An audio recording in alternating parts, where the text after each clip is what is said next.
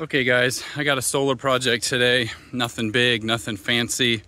Um, I need to solve a problem with my camper.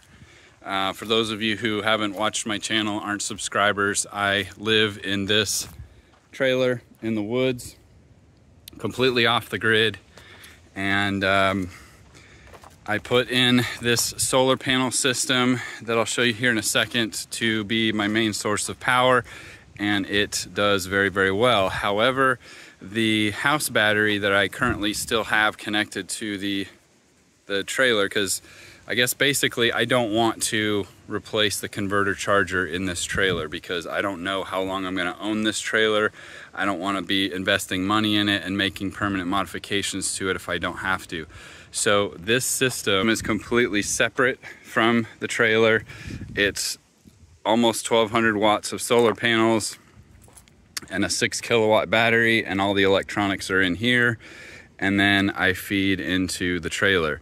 Um, I added a 30 amp output right here that I can connect to the trailer to power uh, bigger stuff, but I typically do not run the air conditioner and the big stuff. That I only use that temporarily as needed.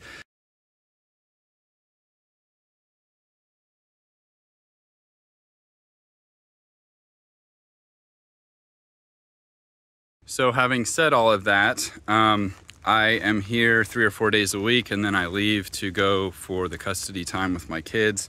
Um, and so I leave the trailer unattended and somehow I leave and, it, and there's zero amp draw on the house battery here uh, that I'll show you in a second, but somehow it drained over the long weekend. So uh, what I'm going to do today is I'm going to set up a 100 watt solar panel to feed into that specifically just the house battery while I'm away. I'm not going to integrate it into the, the trailer. It's going to be fully self-contained and external to the trailer. Um, also, if you're new to my channel and haven't watched my content before, you're not going to see high dollar stuff. You're not going to see uh, perfect, uh, you know, perfect cable management and and uh, and very sexy installs. This is this is quick and dirty, but sound engineering and very functional, very um, efficient, all, all, that kind of. The only real high dollar item that I've got for the system, and this was sent to me for free. Uh, by Sun Fun Kits a few years ago before I switched my channel to completely agenda free. So uh, yes, I did do a paid uh, video on this in the past, uh, but I have not been using it uh, for production systems till this point.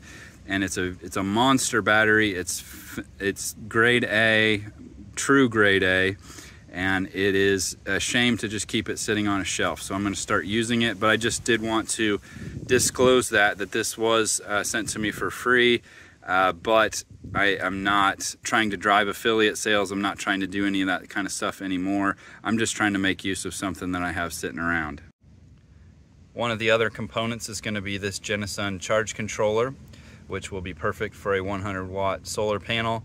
So I'm going to grab a 100 watt panel that I have laying around and we're going to use this tub uh, to try to keep things waterproof. Again, you could buy a much better enclosure for this, but number one, this is going to be temporary. Uh, I probably will not be using this for more than a year, so I'd really prefer not to invest precious funds in it. And number two, it, it does get the job done. Um, there's nothing wrong with this. So this is going to, I'm going to put the battery and the charge controller in, run some cables in um, through a, a hole in the side, and connect it to the, the RV. Currently, this was the old lead acid piece of crap that died. Uh, currently, I have this Miller Tech, which is great. Um, there's nothing wrong with the Miller Tech. It was doing just fine. But anyways, this battery is just much bigger, has much higher capacity. So hopefully it will help my problem of not draining over the weekend, but also having a 100 watt solar panel connected to just this for this purpose to keep this battery topped off will also help. Now before you watch this and comment, this is not a how-to video. I'm not gonna show you every little tiny step. I have hundreds of videos on my channel that are like that. I've been there, done that. The content is already there. So if you're interested in this subject and what I'm doing, please take a minute to check through my channel, look for those videos, watch those first. And if you still have uh, questions or comments, by all means, I love uh, responding to comments and answering questions. You're welcome to email me, leave a comment on the video, whatever you want to do. But please don't expect this, don't get upset with this and thumbs down this video because it's not a how-to showing you every tiny little step. Think of this as more of like an intermediate video where we're kind of applying some principles. It's still a basic use case, but it's, it's more uh, application. So this is a 200 level college class after you've already completed the 100 uh, where you learn the theory and learn the basics. Okay, I got the battery in here and I cut some, some little holes with a uh, plastic drill bit. Uh, they're up and under this this lip here, this handle. So there's no way that water's gonna get in there. So I feel pretty comfortable with that. Um, yeah, some bugs and stuff might get in there, but no big deal. It's not going to uh, take on water once I put the lid on it and put, you know, a wood block or something on top so that the lid won't come off. So, um, you've got the, the negative terminal here I can connect when I'm done, but uh, I'm just gonna lay the, uh, the charge controller down there on the bottom and then get get stuff wired up.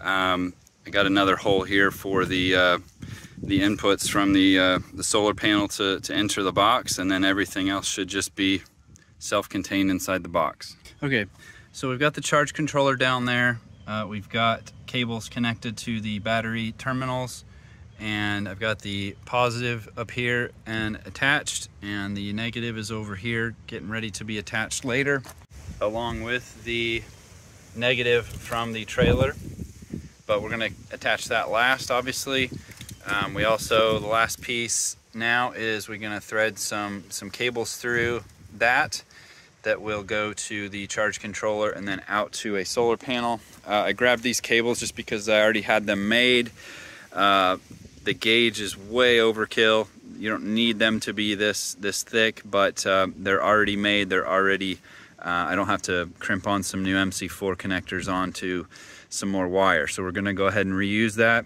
And uh, on the homestead, that's kind of the name of the game is, is reuse, recycle, repurpose. Okay, I propped that thing up on some blocks of wood to make it a little easier to work on. Uh, but we did complete the, the connections to the battery. As you can see, the light there on the charge controller is blinking. So it is just on standby waiting for um, me to hook up the charge or the, uh, the solar panel to the charge controller. So we'll go ahead and grab that. I think I'm just going to, this is south. So for now, I think I'm just gonna prop up a 100 watt panel right there facing that direction and call that good. I'll figure out a way to make sure that the wind doesn't blow it over. But uh, again, this is temporary. I will make improvements to this as we go, but uh, I wanna get this done. There's gonna be a storm tonight. I do wanna get this done today and I don't have a lot of time to over-engineer this. So this portion is complete though, and I can go ahead and put on the lid and button that all up. The SFK battery um, does have Bluetooth. The charge controller does not. That's just like an $85 uh, charge controller. Uh, it is lithium compatible. It's one of the first lithium compatible charge controllers on the market. I did a review on it uh, many years ago, but um, but I will be able to monitor this from inside the trailer um, with a Bluetooth app. Okay, that's connected. I will clean that. Um, I'm going to probably end up putting it closer to over there so that the trailer doesn't block it in the afternoon. But as you can see, there is charging activity from the charge controller. So let's check the app and see what the battery looks like. Okay, so here you can see the app on my phone. Now, this app is really good, but it's not the fastest app in the world. It does take a little bit of time to get connected to the battery, so bear with me here. I'm gonna speed this up because seriously, it's very slow. I'm, that's really my only complaint that I've ever had with this app. Anyways, this isn't a video to show off the Bluetooth app. It's just I wanted to connect to see if there was any activity on the battery to make sure that it was properly connected.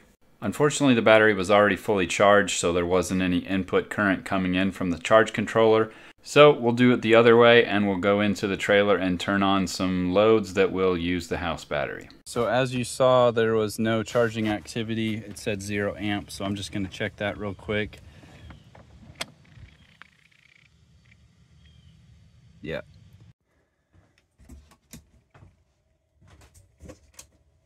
This isn't gonna be a huge load, but we'll put on some lights here. And now you can see we have negative amps so that means that power is going out of the battery, so that looks good, and we can verify that everything's connected properly. Okay, well again, it isn't pretty. I'm gonna put the lid on this and kind of clean up my work here, put some blocks of wood on top of that so it doesn't fly away, find a little bit more secure home for that. But this is uh, kind of the first rough draft solution to this problem. Uh, I'm hoping between the much, much, you know, triple the size of this battery, this has 300 amp hours. This only had 100 amp hour. Uh, between that and adding a 100 watt solar panel to kind of get to offset the losses, um, I'm hoping that this will be a permanent solution. And if it is, then we can, you know, make some investments in making this a little more tidied up and pretty looking and and a permanent fix. But um, it doesn't make a whole lot of sense to go out and buy a whole bunch of components and and uh, get everything perfect only to find out that you made an error or that it's not actually going to fix your problem, that there was a different problem. So this is just kind of how I operate and uh, I think it's the appropriate way to operate on homestead is do some testing, make sure something's going to be the solution before you uh, you know use your precious funds for it. So anyway, enough preaching, enough talking that's going to wrap it up for this video. Like I said, if you didn't understand some of the things that I did or, or, I skipped some steps you wanted to see, go back and watch some of the other videos on my channel for um, kind of how-to and beginner videos on solar. Thanks for watching, guys.